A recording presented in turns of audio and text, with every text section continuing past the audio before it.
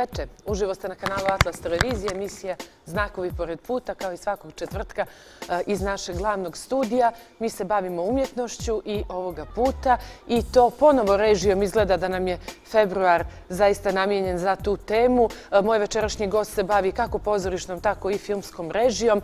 Preksinoć su građani Podgorice mogli da uživaju u projekciji njegovog dokumentarnog 30-minutnog filma Lud za tobom, koji je premijerno prikazan još prošle godine i e, nagrađivan je i učestvovao je na više više festivala. Dakle, moj gost je Danilo Marunović. Dobro večer i dobrodošao. Dobro večer, Ksenija. Drago mi je da sam ovdje večeras. I meni je drago da si ovdje večeras. Ja bih počela zapravo e, ovu našu emisiju insertom iz tvojeg filma, prosto da ljudi osjeti, to sam ja birala i birala sam baš sami početak, prosto da se vidi malo kakva je to atmosfera, mada ima jedna scena koja mi milija, o tome ćemo poslije. Dakle, molim režiju da pusti insert i onda idemo dalje.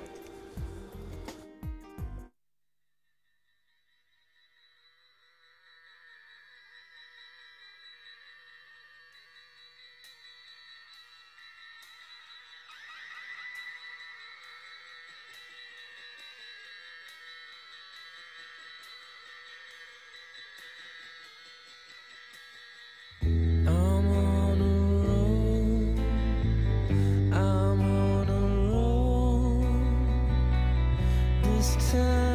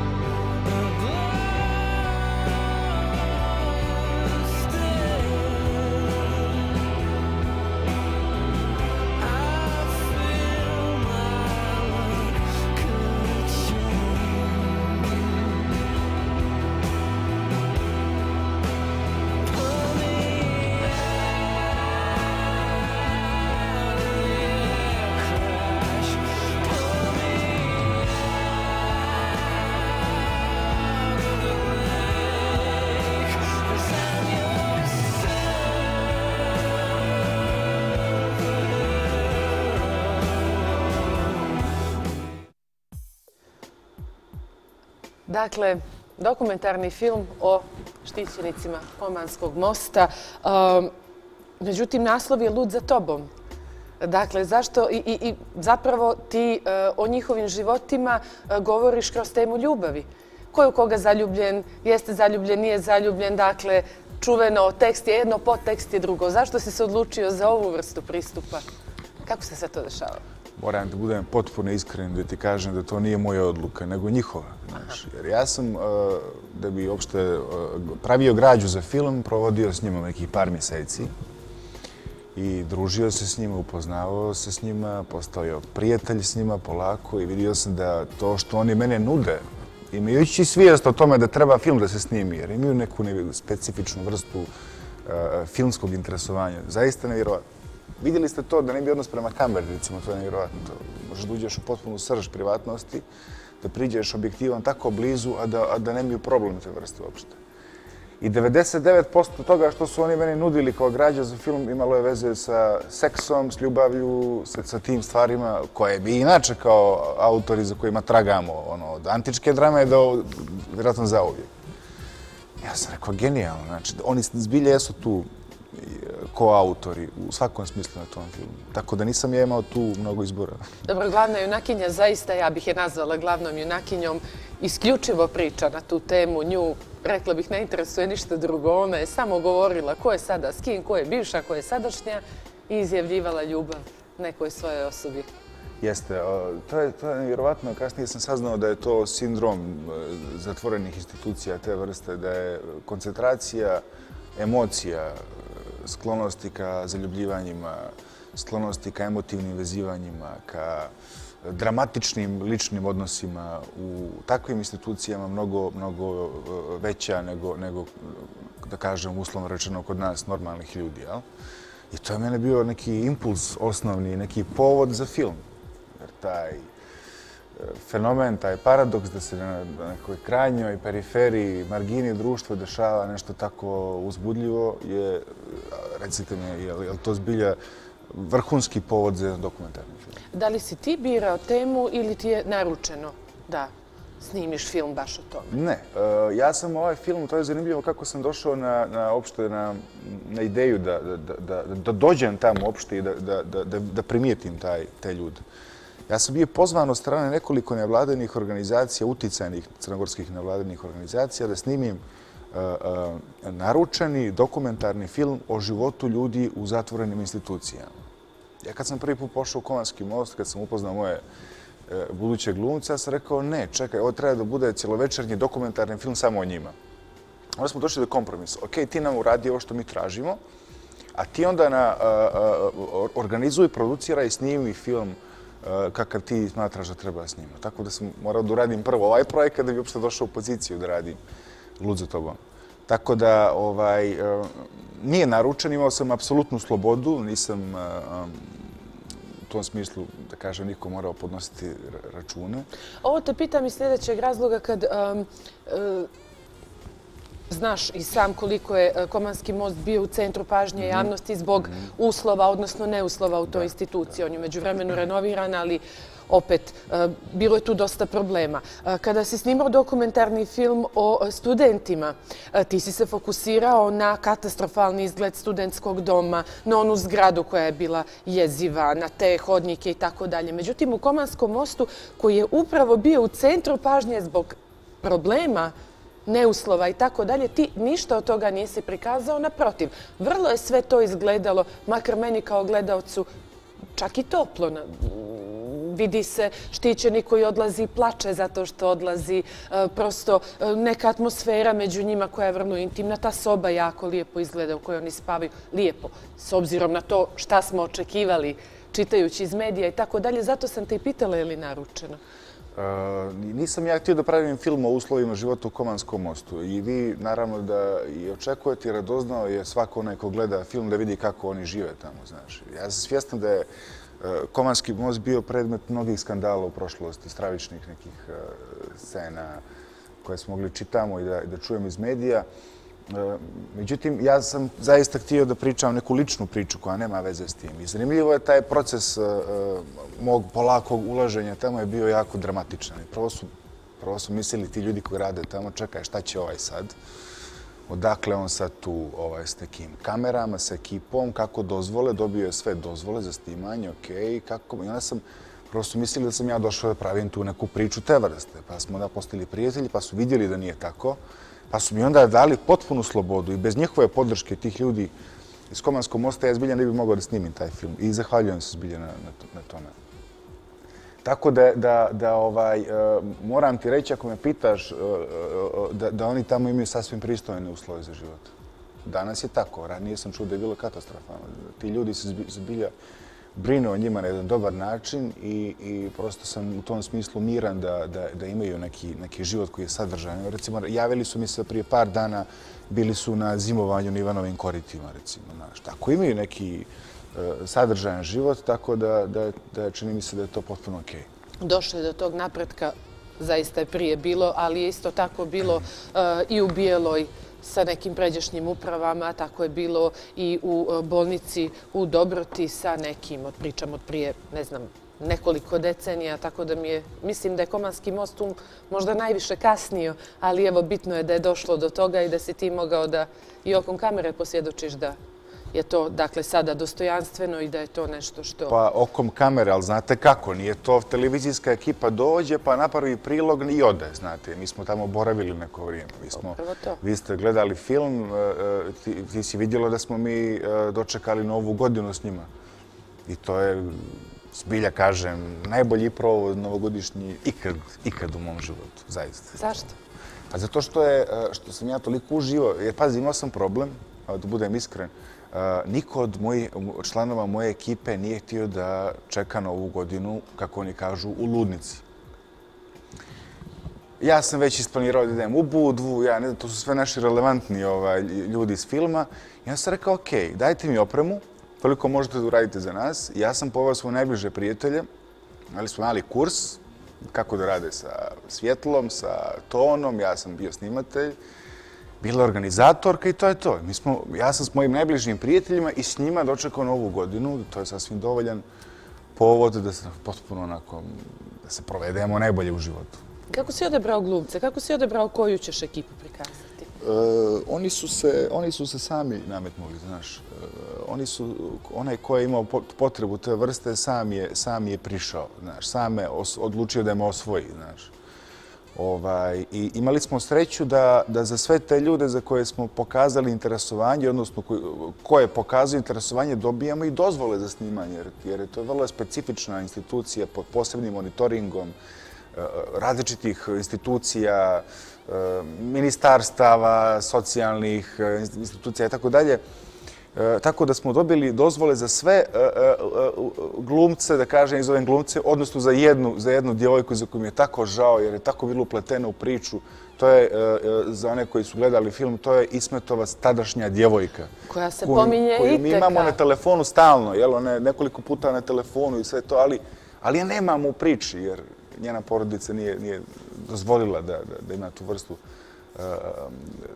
eksponiranja ali je ovako zanimljivo ispalo jer ona je prisutna non stop tu kroz razgovor sa telefonom negdje u sjenci, znaš, tako da je tu neki suspens stvoren koji je profunkcionisao u filmu. Jeste, jeste. Reci mi, e, mislim da, da, da kroz svaki tvoj projekat možeš nekako da uh, poslije osluškuješ kroz publiku, s obzirom na to da se stalno baviš, ili makar je to moj utisak, uh, grupama koje su na margini društva.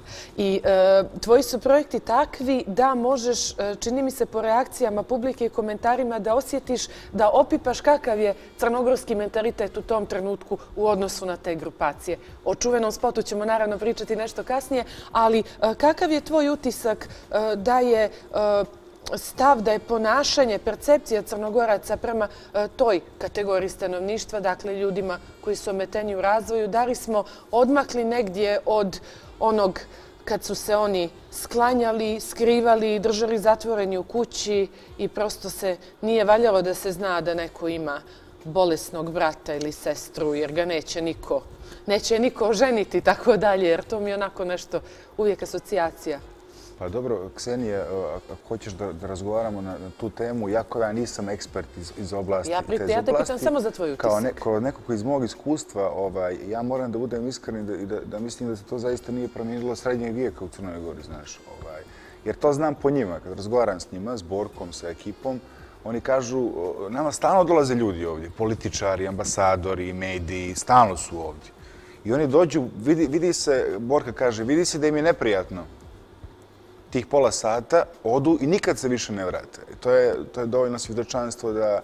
Da, stalno i djeca izbijele, govori. Je li tako? Da dođu neki divni ljudi i budu divni prema njima i oni se podruže nekoliko sati i obećaju da će se opet čuti, da će se opet vidjeti i oni se ponadaju, a ti se ljudi nikad više ne pojavi. To je uvijek stalno ponovno napuštanje. Da, ali e, nisam ja neko ko njih, e, ko ima neko saželjenje prema njima. Naprotiv, ja imam divljenje prema njima. I to je u filmu, čini mi se ono što... Vrlo očigledno. Što očigledno i što izdvaja i što te prosto nekako e, štiti od opasnosti da uđeš u neku patetiku, da uđeš u neku pretiranu sad E, e, empatiju e, koja je evidentno okej, ali ne treba da bude dominantno uopšte u bilo kom ljudsko-pravačkom projektu.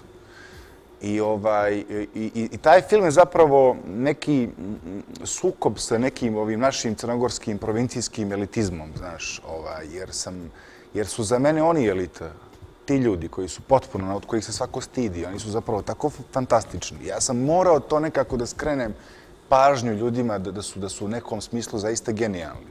Oni zaista imaju neku specifičnu vrstu inteligencije. Ja to stalno pokušavam da nekako i e, kroz stručne termine dešifrujem da to nekako um, definišem.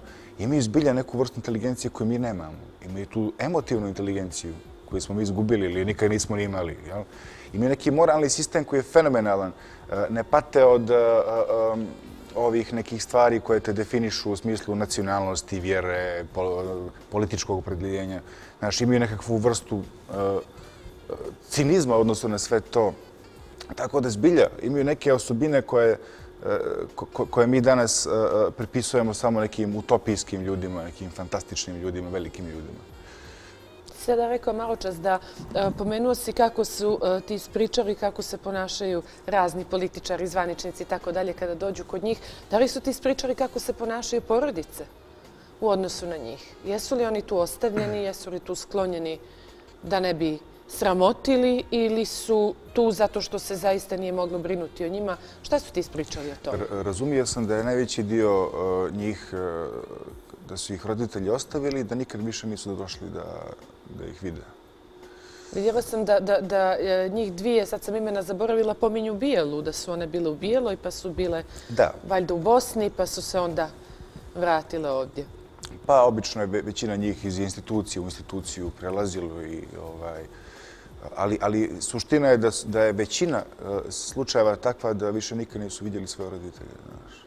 Tako da je meni fenomenalno ako su ti roditelji vidjeli njih na, na filmu, ako su ih vidjeli film emitovan u, u onako multimilijonskom uh, e, e, tržištu, Al Jazeera ga emitovala, tako da recimo moglo 20 miliona ljudi pogledati taj film. Tako da mi je zanimljivo ako neko od roditelja vidio uh, uh, film i, i vidio da, da, da, da je zapravo njihovo dijete postalo neka, neka mala zvijezda, jel? Da, da, da, je, da je izraslo u neku fenomenalnu osobu, da je, da je strašan tip, da, je, da ima djevojku, da, ili da, znaš, to, to, to sam razmišljao da li, da li je moguće da je neko od roditelja vidio, a, a, a, a vrlo je moguće da jeste tako. Uh, I pitanje je kako se osjećali u tom trenutku. Da li se ti uh, E to što, se, što sam malo čas rekla da si reditelj koji se definitivno bavi grupacijama koje su na margini društva, da li je to bio tvoj svjesni odabir ili šta je, šta misliš da je to što te vuče takvim temama? To stalno mene pitaju što se pisanja tiče, pa baš da čujem tebe. Meni, mene, mene samo interesuje ona vrsta angažmana koja direktno može da promijeni neke stvari. Je li to zbog godina, zbog, ne znam, nekakvog trenutnog impulsa ili zbog temperamenta ili zbog ne znam čega, ali samo one stvari koje direktno mogu da utiču na neke društvene procese. Nešto što zaista pomjera ljude, meni je to jedino tako interesantno. Drugačije onako da se bavim sad nekim dosadnim teatrom gdje ćemo mi da razgovaramo o savremenim nekim uh, paradoksima na jedan benigan način. gdje će ljudi izaći iz teatra, popiti piće, nikad se više neće sjetiti tog, te predstave ili filma. Meni to nije interesantno. Ne znam zašto je kod nas toliko e, prisutno e, ta ne znam, predrasud ili kako da je nazovem, da je angažman umjetnosti samo ukoliko se baviš političkim temama i dakle ako, ako ciljaš da, ako imaš neku vrstu političkog bunta, kao da taj socijalni moment uopšte nije bitan da bi neko se mogao nazvati angažovanim umjetnikom, što je potpuno absurdno, čini mi se, to i si, paradoksalno. To si dobro primijetila i ovaj, da, da je samo zapravo politički aktivizam uh, podrazumijeva se kao angažman, što uopšte nije, što uopšte što. Absurdno je potpuno, da. Mi u Crnoj Gori, ako, ako u tom smislu razmišljamo, mi, mi nemamo političke kontroverze. Mi nemamo neke krajnje eh, relevantne političke opcije koje su krajnje desno ili lijevo. Ovdje je 90% partija programski vrlo slično orijentisano i ovdje tu vrstu paradoksa nema. Polu na lijevo. da, negdje polu na lijevo i tu, tu vrstu ovdje nemaš ne, nema ni u teatru, ni na filmu mjesta za, za tu vrstu nekakvog, a da nije dnevno političko angaž, neki angažman. Ja? Pritom što taj dnevno politički ne znam koliko uopšte može da utiče, zato što istomišljenici će naravno biti saglasni, ne istomišljenici to neće, a čini mi se da upravo ovo što ti radiš ima opipljivi efekat na publiku. Zato što se bavi konkretnim temama, konkretnim problemima. I, o, I zato što to čini mi se ja i moj tim o, s kojim radim, to radimo na način o, koji, e, ne, koji ne podrazumijeva m, propa, propagandu. Znate, ako imate neki projekat s, ko, s kojim želite da, da, da utičete na neki problem u savremenom društvu, ako imate u tom filmu ili toj predstavi bilo što što ima veze s propagandom nikom neće vjerovati u to. Jer to radiš s nekom namjerom, e, e, skrivenom namjerom i, i onda, onda to e, se svede na, na nivo nekakvog, jeli, nekakvog, nekakvog angažmana koji je prolazan, propagandistički, kako god hoćete. A, a mi smo, a čini mi se da smo i uspjeli u tome da se bavimo konkretnim nekim stvarima koje, koje prosto ne podrazumijevaju taj neki pristup. Čini mi se da je to, da je to neki razlog zbog čega tih nekih par projekata koje sam ja uradio sa svojim, eh, sa svojim timom su napravili tu vrstu odjeka, eh, su napravili tu vrstu, čini mi se da su uspjeli u nekakvoj namjeri da, da pomjere stvari. Ja? Dakle, istinski angažman je onaj koji ne smije biti pamfletski, i koji mora krenuti, ako sam te dobro razumijela, iz neke iskrene emocije nakane. Tako je. Tako je. Pravimo kratku pauzu za reklame i nastavljamo o angažmanu i reakcijama publike na angažmana. Znaš dobro na što ciljam. Vraćamo se skoro. Okay, Znakovi pored puta uživo na Atlas televiziji. Moj gost, reditelj Danilo Marunović. Zapravo bi pravilno bilo, kažem Danilo, ali nekako mi ne, ne dođe mi spontano, ipak mi je Danilo. Meni se više sviđa Danilo. Danilo, tako je, onda je dobro. Pričali smo o, o angažmanu, o tvom projektu Lud za tobom i o tome koliko angažman koji se tiče socijalnih tema i ljudi na margini, koji su nažalost na margini društva, ima uticaja na publiku i kako publika reaguje na ta takve projekte. Jako se puno pričalo e, prije dvije ili dvije i po godine o e, spotu koji si e, napravio za kampanju OK je biti drugačiji. Spot se zvao Mi smo dio ekipe. Ja predlažem da ga pogledamo pa da popričamo o njemu. Ajde. Vukčević i dalje Vukčević. Savić. Ide, ide, ide, ide, ide.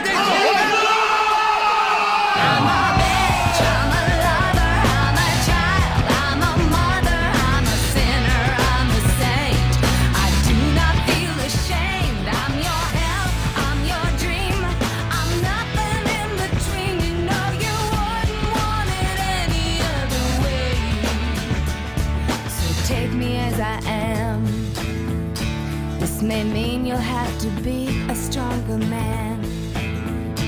Rest assured that when I start to make you nervous and I'm going to extremes, tomorrow I will change and today won't mean a thing. I'm a bitch, I'm a lover. I'm a... Danilo, kampanja se zvala OK, biti drugačiji, ali čini mi se da su reakcije publike kazali da crnogorci smatraju da ni pošto nije okej biti drugačiji ili makar biti gej u ovoj zemlji. E, vi ste i doživjeli e, ti i e, akteri spota, čak i osoba koja nije nikakve veze imala sa spotom, koja je bila u vašem društvu užasno neprijatnost, fizički ste napadnuti zbog ovoga. Da li sada, nakon par godina, kada gledaš na sve to što se dogodilo, da li smatraš da je taj spot bio pravi način da se komunicira sa ovom publikom i kako uopšte gledaš na sve to što se dogodilo? Pa, eh, spot Mi smo dio ekipe je, eh, mogu slobodno reći, bitno uticao na, na naše živote mene i, i mojih prijatelja koji su učestvovali u spotu kao glumci. Eh, to je bio jedan projekat koji onako zbilja bio jedan krajnje ličan odgovor i mene i mojih drugova na, na nešto što se zove homofobija na nešto čime smo se zbilja bavili u razgovorima, u nekakvim eh, komentarima na, na vrijeme u kojem živimo, na, na mjestu, na, na Crnu Goru, na naš dom, na, prosto na tu pojavu koja je užasna, jeli, koja je toliko u Crnoj Gori prisutna da, da, da zbilja ne, ne preporučuje Crnu Goru kao neko civilizovano mjesto. Znaš, ja sam onda dobio priliku da uradim taj spot, imao sam potpunu slobodu da ga maštam kako god ja želim, jel? I maštao sam kako sam ga maštao i mislim da, da, kad bi ga, kad, da, sam, da se vratim da bi ga maštao još radikalnije, znaš, jer, jer sa fašizmom nema dijaloga. Sa fašizmom ne, ne smije da bude kompromise, ne smije da bude bilo kakvog uh, konstruktivnog, ne znam kakvog, sad, treba da se objavi rat tome. To, pogotovo u 21. vijeku nema, ne smije da bude, ne, ne znam kakve uh, uh, taktike, koja podrazumijeva nekakvo vrijeme da se sve to, da se sve to prevaziđe. Ne, naprotiv, kasnimo, strašno kasnimo odnosu na, i na susjede, a ne na odnosu na civilizovan svijet u tom smislu. E, I taj film je zbilja, taj spot je, je, je donio toliko, toliko neprijatnosti. E, iz, iz medija znate samo za taj jedan incident. Ja, ja mogu sad reći da ih je bilo preko 20, 30 e, incidenata te vrste koju, koje, ko, zbilje za koje nismo htjeli da, da budu prisutni u medijima, jer nismo htjeli da postanemo hrana jedna medijska za, za, jedno tak, za takvu jednu ličnu, ličnu uh, alarmantnu situaciju kao što se nama dešavala. Ne toliko meni koliko uh, Todoru, uh, mog prijatelju glumcu iz spota koji je, kome je taj spot promijenio život u smislu da on više posle toga ne izlazi u, ne, ne, prosto ne, ne, ne, ne boravi u kafanama na način na koji je to radio prije i da jedno vrijeme to moralo biti uz monitoring policije i tako dalje i tako dalje. I, i, to nikad nije prestalo da se dešava. Da, ti incidente nikad nisu prestali da se dešavaju. Ja se sjećam, uh, uh, sve se ovo dešavalo u trenutku kad ja počinjem uh, da živim sam sa svojom djevojkom koja je trudna u tom trenutku. E, gdje mi strahujemo, a gdje smo baš živjeli, imali smo stan u kvartu gdje, gdje je koncentracija tih tipova uh, najveća, to je tamo preko puta sportskog centra, uh, gdje sam ja morao da brinem za trudnu djevojku, za sebe, za, ne znam, potpuno, ne, potpuno neko ludilo, znaš. Ali nikad me to nije uh, demotivisalo da, da stanem za cijele te priče. Ako treba ja koji, i svi moji prijatelji koji nismo homoseksualci, ako mi treba da stanemo negdje na prvu liniju te, te, te borbe, ajde, okej, okay, jer zbilje vjerujem u tu, u tu ideju. I mislim da upravo to što, što, što su u tu kampanju bili uključeni ljudi koji nisu homoseksualci, da je to upravo toliko iznerviralo taj sloj ljudi koji nas je preko noći zamrzio, bukvalno. Mi smo izgubili prijatelje neke, mi smo, e, naši roditelji su izgubili prijatelji zbog toga prosto onako neka, u početku ti bude to zanimljivo kao neka su slobodno takvi, a posle nekog vremena to je takva jedan, tak, takav jedan pressing od strane svih oko tebe da, da onda ovaj, zbilja upadaš u, u, neku situaciju gdje ti nije prijatno, ti život nije prijatan. E, pritom, ne znam zbog čega, ali, ali e, e stalno je taj utisak, ja, eto, ti pričaš to, ja, ja pravila sam stalno što se oko toga kako sam svoje tetki koja je pred penzijom objašnjavala svoje prisustvo na Prajdu, svoje i svoga muža. Nikako nije mogla da shvati, bila je u potpunom šoku kad je čula da smo bili tamo. E, prosto e, postoji ta e, percepcija kod crnogoraca da e, tom borbom koja je bila tvoja u jednom trenutku koju ja doživljavam neki način kao svoju, se traži od njih da oni podržavaju homoseksualce. Ne treba da ih podržavaju, treba da tolerišu. Dakle, taj poljubac da prihvate da je stvarnost koja mora da se toleriše. Međutim, e, prema tvom mišljenju, koji je stepen, koji je uzrok baš tolikog stepena netolerancije u Crnoj Gori, ne samo prema LGBT populaciji, nego meni se čini generalno prema neistomišljenicima? Šta je to u našem mentalitetu što nas čini? Je li to neka nesigurnost? Je li to e, neki ponos? Šta je to što nas čini toliko osjetljive na bilo što sa čim nismo saglasni?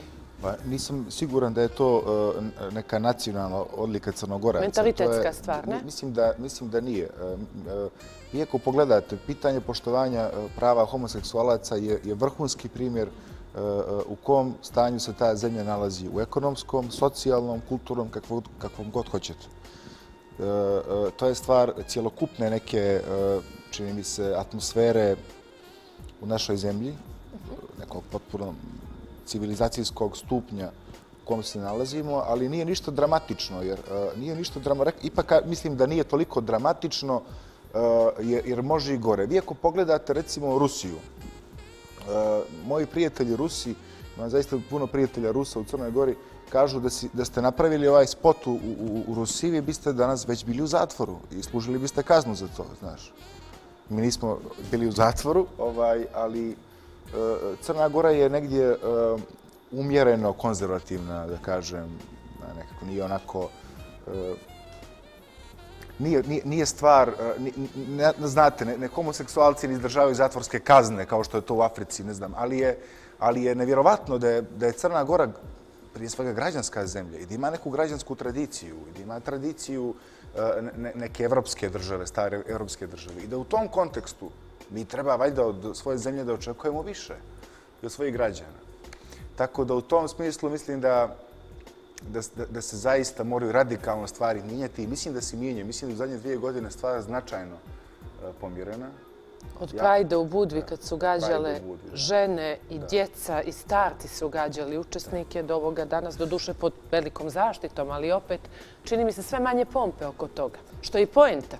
Što jeste da mogu da prošetaju, da ne bude nikakva pompa. Ja bih sada, Eh, vidi, eh, kod tebe se sve teme nadovezuju i svaki se projekat nadovezuje eh, i ipak bih se sada preselila u pozorište što se tiče ovog našeg razgovora. Ti si specijalistički studij na Fakultetu dramskih umjetnosti završio komadom čuvenog mog miljenika Olbija, a to je Koza ili... Dobro, Olbi, Tennessee Williams, tu sam malo neodlučna, ali nije važno, Koza ili ko je Silvija. On se danas nalazi na stalnom repertuaru Crnogorskog narodnog pozorišta i to je komad kojim je Olbi ispitivao granice liberalizma tog američkog društva koji vrlo voli da se hvali sada je jako liberalno. E sada ti postavljaš taj komad u Crnoj Gori koja baš i ne važi za liberalnu, naprotiv, za konzervativnu. Zašto si odabrao baš taj komad i kroz koju si? Šta je tvoja nakana bila? E, prvo da kažem da, da, je to, e, da je to komad koji je naručen s Broadwaya. Znači, e, koliko sam čitao, brodvejski producenti su Olbija 20 godina cimali za komad. Ono, on ima sad oko 90 godina i rekli su daj napiši na komad prije nego što umreš. Broadway mora da ima tvoj komad dvije druge, čini mi se, tako nešto. 2002. Skoro. I on rekao, hoćete komad? I okej, okay, daću vam komad. I napisao je jedno od najprovokativnijih pozorišnih komada ikad napisanih. I meni je to bio inicijalno impuls da ga uopšte... Da budeš dosljedan sebi i svom dosadašnjem radu. Dobro. ovaj, I uzao sam taj komad i shvatio sam vrlo brzo da je to obračun sa savremenim liberalizmom. Znaš, da je to... I, I to mi je super. Svi moji projekti do sad su govorili o, o deficitu uh, slobode, a ovaj govori o tome kako je sloboda uh, uh, kako je borba za slobodu dosegla krajnje granice i kako je sve preko proizvod nekakve izopačenosti savremene civilizacije i kako nemamo više pravo na, na, dalje, na dalje slobode. Jel? Kako, smo, kako smo izvojevali sve bitke za slobodu još u 20. vijeku. Jel? Ovaj... Samo mala zagrada, naši gledalci ne bi bili izbunjeni da kažemo ukratko o čemu je riječ u komadu. Da, u pitanju je jedna ekstremno liberalna i savršena, onako na izgled, američka porodica sa ocem koji je jedan od najuspješnijih arhitekata na svijetu, koji je dobio sve nagrade, ima potpuno ispunjen život, ima super seksi i dalje seksi ženu, ima divnog sina koji je, koji je gej, oni nisu srećni što je on gej, ali to prihvataju jer su demokrate, jel? I na neki njihov porodični jubilej, na 50 godina, na 50-godišnji rođendan njihovog oca, on saopštava porodici da se zaljubio u kozu i da da želi da, da, da, da nastavi sa njom i da mu se to desilo, da, da, da, ovaj, i nastaje kriza u porodici. Jel? Nastaje velika kriza u porodici, Tako da je izbilja onako jedan brutalni, no, brutalni obračun sa, sa svim stereotipima moderne civilizacije. Jedna vrlo inteligentna parodija na, na, na, na, na, cijel, na cijelu ideju zapadnu o slobodi. Jel? Da li je Sodomija, ako je, čak i ako je taj reprezentativni čovjek u pitanju, taj genijalni Martin Gray, taj čuveni arhitekt, taj briljantan otac, briljantan tip, e, muž, da li on čak kao reprezentativan stanovnik planete ima pravo na, na Sodomiju? Zoofiliju. Ja? Da, Na- zoofiliju. Ili, ili zoofiliju, kako god hoćeš. Sodomija je zapravo nešto drugo, ali je na Balkanu dobila kroz e, prosto svakodnevni rijed, a Sodom je zapravo analni seks. Mislim da je sodomija, e, e, sodomija je, je, je e, religijski termin, čini mi se. Jeste i pos, hrišćansko-pravoslavni. tako, u svim, ja mislim da je u islamu i, i u judaizmu i da je u hrišćanstvu također i ona se originalno odnosila na bilo kakav perverzni seksualni čin. A tu je moglo Ne- da ne spadne znači šta da god analni, hoćeš. Čak i oralni seks, Ali je, čini mi se. originalno da. I onda je vremenom dobila striktno izraz e, analnog čina, da bi međutim kod nas, ovaj, ovo je zaista, mislim, najneobičniji razgovor koji sam do sada vodila u ovoj emisiji, ali mi nema veze. Što se E, mene tiče, možemo da nastavimo da ga vodimo u ovom tonu do kraja. Nikakav problem. Uh, uglavnom, znam da se uh, da je danas na, na svjetskom nivou on dobio dakle, tu konotaciju analnog seksa, ali kod nas se koristi i za zoofiliju, ali mislim da, je, da bi tačnije bilo zoofilija, ali može i ovako. Ok, ali jed- ne- jedno ne isključuje Uglavnom. drugo ako razmisliš E, Ne, malo, tako ne da- isključuje apsolutno. E, Dakle, e, prekinula sam te, izvini, govorili smo o tome kako si odlučio da upravo u sredini u kojoj si nastojao do sada da rušiš, dakle, tabuje patrijarhata i tog patrijarhalnog tradicionalnog društva koji osuđuje svaku različitost, odabrao komad koji upravo preispituje taj liberalizam koje mi, koji se borimo protiv te vrste patrijarhata, pokušavamo da težimo. Ne pokušavamo, nego težimo. Pa jeste, znaš, ovaj... e, Pošto si nekakvu drugu. po- potpuno krajnost. iz, iz drugog ugla sagledavao Jest. istu stvar. Jel? E, oni komentari, recimo na spot, mi smo dio ekipe onog sloja društva koje je kao umjereno konzervativno, intelektualističko, znaš, koje je kao građansko, nije ostrašćeno, znaš, pa ti komentari su mi najsmiješniji. Jer oni kažu, e, e, e, dobro, mislim, šta je danas sloboda, ne možeš ti danas dozvoliti da, da vidiš homoseksualni poljubac na, na televiziji. Nije, oni imaju sva prava, neka to rade u svoja četiri zida, pa taj fašizam, taj, taj, taj bolesni fašizam. Zašto ti to ne radiš u četiri zida? Zašto bi ti to mogao raditi gdje god ti ho- hoćeš? Odgovorit će zato što je ovo normalno, ovo nije. Da, e, Tako da. će odgovoriti. I onda ovaj, e, upravo ti ljudi insistiraju da, da, da, da od- odrede granice gdje su, e, gdje su granice sloboda. Znaš. E pa granice sloboda su miljama daleko od njihovih umova, a ja ti da vidim gdje je to na zapadu e, danas, gdje se to danas određuje, gdje su te granice, znaš. I da vidimo kako to funkcioniše u Crnoj Gori. Zamisli na zapadu izgovoriti ne smeta meni da ti postojiš samo da te ne gledam. Neću da te gledam. Mogao bi da ga tužiš Da. Mogao bi da ga tužiš. Tako da, ovaj, i taj užasno provokativan e, komad e, i, i, i, komičan i dramatičan u isto vrijeme sam htio da vidim kako crnogorci reaguju. Na... I kako reaguje? Pa bila si, gledala si, pa reci mi ti. Pa vidi, e, koliko sam ja čula, svaki put bude drugačije u zavisnosti od toga ko je u Ko je u publici i koliko osobe koje su u publici znaju uopšte o čemu je riječ u komadu. Meni je bio zanimljiv jedan e, par, onako malo stariji, koji, za koji sam apsolutno sigurna da nije imao predstavu o čemu je riječ u komadu. Oni su bili u potpunom šoku. Ali opet bilo je nekoliko nas koji smo se zaista e, smijali, uživali i čini mi se da smo diktirali čak raspoloženje publike. Uvijek imaš nekoga, ko, pogotovo u tako malim e, publikama kao što je scena studio, CNP, nekako nametnu atmosferu, ne znam. Super, od sada ćeš biti na svim mojim predstavama. Nema problema. Vidi, ako budeš režirao Olbije ili Tennessee Williamsa, možeš da računaš na mene. Okej, okej. I reakcije publike s tvog stanovišta, kakvi su bili komentari? Pa, moram ti kažem da sam ja očekivao više ovih e, negativnih reakcija. Znaš, to su ovo što si pomenula, ove stare ljude, to su baš na nivou incidenta. E, uvijek bude u publici e, jedno, dvoje, troje takvih ljudi, znaš. Ali obično je, je, je ovaj, su ono, predstave takve da su ono, to salve smijeha, um, onako, onako nekakvog šoka pozitivnog, uh, znaš, tako, nešto zbilje na što nisu naučili kad je crnogorski teatr u pitanju. Na tu vrstu dramaturgije, hoću reći. I uvijek su to neke super reakcije, zbilje. To mi je jako drago jer znam da, da, da, da ljudi znaju da gledaju predstavu po tri, četiri puta. Vidim neke ljude i to je zbilje onako što me zaista ispunjava. Što me zaista ispunjava kad znam da neko da ta predstava ima neku svoju onako publiku koji stalno dolaze da gledaju, znaš, tako da da sam zaista ponosan na tu predstavu zato što je to moja diplomska predstava to je, jako sam je radio dosta drugih projekata, to je te, uh, projekat koji me uveo u svijet teatra. Na, na, Što sam ja mislila da ti je diplomska predstava bila druga, da je ovo bilo, bila za specijalističke. Mi imamo dvije diplomske predstave. A, obi, dajte da se zagrlimo. Dajte da se zagrlimo Folvile, da. Uh, s tim što ovaj, uh, s tim što, što, što, što je ona koja je na četvrtoj godini zapravo prava diplomska predstava, mm -hmm. sa, ovim, sa ovima završavaš osnovne studije. Tako da, Zbilje volim tu predstavu i navijam za nju jer imali smo i jedan onako produkcijski paradoks koji nam se desio. E, ja sam tu predstavu počeo da radim još ranije, prije četiri godine i onda smo imali situaciju da glavnu, glavnu lugu igra čuveni jugoslovenski glumac Boris Komnenić. Pa smo onda radili s njim i prosto dan pred premijerom... I to glavnu lugu? Glavnu lugu. On je dan pred premijeru otišao iz potpuno nekih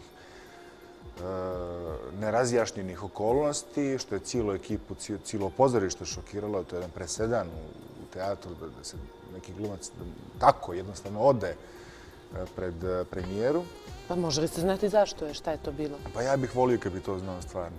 Ovaj, znači nije bilo ni nikakvog objašnjenja, ništa? Čak smo napravili jednu jako uspješnu verziju predstave i to je bilo pred izlazak, ali, ali okej. E, I onda su prošle dvije godine dok se dok nismo uspjeli produkcijski da opet organizujemo stvari, umeđu vremena je naišla kriza, pa sam imalo i novce za taj projekat.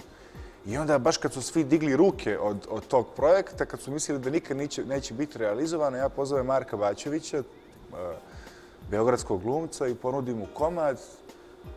I on me zove i kaže, vidi Danilo, ja, ja zaista mislim da ti hrabar, mladi reditelj i da je ovo zaista dobar komad nisam siguran da ja imam želudac za, za, za, za ovu predstavu. Ja mislim da ću ja morati ovo da odbijem. Ja kažem, ok, mislim, njegova lična stvar, u sve mislim kakav lik, ono, razočara. Iz mene zvoni telefon posle 20 minuta i kaže, slušaj, molim te, zaboravi sve što sam rekao, ovo je sjajan komad, ideja ti je super, radit ćemo ovo. Tako da ovaj, smo ipak napravili tu predstavu što je... Koliko je poslije trajao proces sa njim, pošto je ipak to Ne dugo. Radili smo, ja mislim, ne duže od mjeseci po dana. To je onako manje nego neka standardna norma u pozorištu. Mene malo čas uhvatila kamera kako gledam na sad da vidim da li treba reklame da pozovem i treba tako pravimo još jednu kratku pauzu i vraćamo se za završnicu emisije. Znakovi pored puta uživo na Atlas televiziji. E, moj gost Danilo Marunović, sad kad smo raščevijali u prethodnom dijelu razlike između sodomije i zoofilije, mislim šokirali crnogorsku javnost, e, ja bih se još malo osvrnula na, na, na e, Kozeli ko je Silvija. Upravo onaj paradoks koji smo rekli malo čas, ili ne paradoks, nego kontrast da smo iz priče o izborbe protiv e, dakle, konzervativne sredine prešli e, na ovu stranu, a opet s druge strane me zanima e, da li, s obzirom na to kakva je ovdje svijest o LGBT populaciji, da li je možda problematično to što komad ima nekoliko replika u kojima faktički kao da se poistovjećuje kao jednaka vrsta. Martin, kad pričaju o, njegovoj, o njegovom opštenju sa kozom, u jednom trenutku kaže, kaže sinu, pa šta pa ti si peder?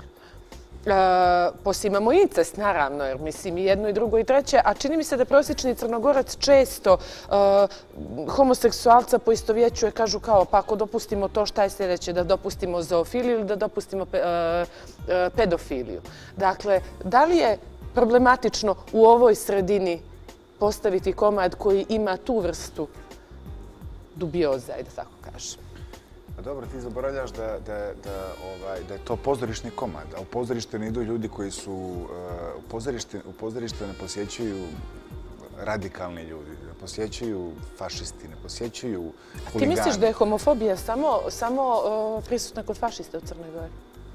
Pa, uh, fašizam je nešto što se krije uh, u svim nekakvim sferama društvenim, znate. Možete imati fašistu za ministra, možete imati fašistu za gradonačelnika. Imamo takvih primjera u Crnoj Gori kako god hoćete. E, tako da ne mora da bude on socijalno određen, kao huligan, uličar ili nemam pojme ili je, e, ne znam gdje, može Ali si ti sad rekao da oni ne dolaze u pozorište. Ja te pitam, da li ima toga u među pozorišnom publikom? Meni se čini da ipak se to krije u prosječnom crnogorcu. Apsolutno, e, apsolutno u tom smislu, ali hoću, moja poenta je bila drugačija, da, da, da, da recimo Koza ili koja je Silvija bila prikazana na televiziji, e, to bi onda bio, to je govorimo, na, nažalost, to sve umanjeno nekom e, me- medijskom onako feedbacku kad je teatar u pitanju, znaš. Prosto da je teško ćeš skandal u teatru izazvati, osim ako nije dnevno politički. To što radi Frljić, e, Frljić i ekipa, jedino tako to možda uradiš. Da li je za tebe Frljić istinski uh, angažovani reditelj? Jer obično kad pričamo o angažmanu sa rediteljima u ovoj emisiji, obično se odgovori podijele na oni koji poštuju Frljića i na one koji ne poštuju Frljića. Dakle, kad pitam da li postoji istinski angažman u teatru danas i ko su istinski angažovani reditelji? Da li ti tu svrstavaš Frljića i ko su za tebe istinski angažovani reditelji, osim Danila Marunovića? Dobro, hvala. E, ja sam imao sreću da asistiram velikim rediteljima. Diego Debrej, e, Edvardu Milleru, e, Radili Vojvodić, e, Milanu Karadžiću, tako da sam upoznao e, potpuno različita sredstva komunikacije s publikom, sa medijima, s ljudima, sa, sa opšte javnim mjenjem. Ali Oliver Frljić, koliko god pravio greške, a negdje neke vrlo uspješne projekte, ima jedan zanimljiv fenomen koji je meni koji, koji, mene jako, koji mene jako zanimljiv zbog toga što je presedan da u modernoj istoriji teatra imaš činjenicu da on preselio estradno u teatar. A što znači jednu ogromnu pozornost. E, što, što za, zaista to možda jedina šansa da teatar danas, zašto da ne, možda kroz neka estradna sredstva Eh, prosto vrati jedan dio pozornost, pozornosti koje mu pripada, jel? I okej, i teatar jeste elitistička stvar, ali Frljić je uradio to jednu, tako jednu, jednu, jednu radikalnu stvar što je što je, što je preselio neke, nešto što je dnevno političko, što je trenutno angažovano u, u teatar. Meni nisu, recimo, zanimljive ove zadnje stvari koje su njegov angažman u, u, u, kao direktora pozorišta uh, u medijima. Mene to, mene to nije zanimljivo, ali mi je zanimljiv taj paradoks, taj novi fenomen. Je li to možda šansa za pozorište da se preseli ovaj, da se pre, preseli u ne, nešto što je toliko aktualno kao što je kao što je televizija, recimo. Ovaj, Da li imamo danas novim tehnologijama? Da li teatru nudimo tu šansu da prosto nađe ne, neki, neki način da se spasi? Jer, jer zaista postaje previše elitistička stvar koja ruku na srce nema mnogo šanse da utiče na, na, na, na neku realnu stvarnost. To sam i htjela da te pitam, to uvijek pitam koliko umjetničko dijelo može da utiče na svijest publike, a pogotovo pozorišni komad, s obzirom na to da čini mi se, i stalno to ponavljam, e, jako puno naših reditelja e, zaboravlja na komunikaciju sa publikom i pravi neke elitističke projekte koji, ili zapravo nekako hermetički zatvorene projekte koji prosto ne mogu da dopru do nekog e, građanina koji nije navikao na teatar, a možda bi i došao kad bi se osjetio da bi mogao to da osjeti, ako ne i uvijek razumije. Pa dobro, ja razumijem te neke reditelje koji nemaju namjeru da, da i odabiru teksta i odabiru svojih uh, sredstava, nemaju namjeru da to svako razumije. Mislim da, ste, da, ne, ne, ne shvatite pogrešno. One predstave uh, s koje ti izađeš i kažeš ja nisam razumio o čemu se radi ovdje, e, to nisu dobre predstave, ali e, nek, ono što je neka, nek, neki krajnji cilj predstave je da, da prosto neki stav u odnosu na, na neki paradoks, neki, neki stav u odnosu na stvarnost u kojoj živimo ne prokomentariše. Ako se taj komentar desi, onda je dobro. Ako se ne desi ili ako se ne desi na dobar način, onda nije dobro. Ali teatar ima taj sindrom da ga vide, recimo, jednu, poze, jednu pozorišnu predstavu, ukupno vidi par hiljada ljudi, to je to.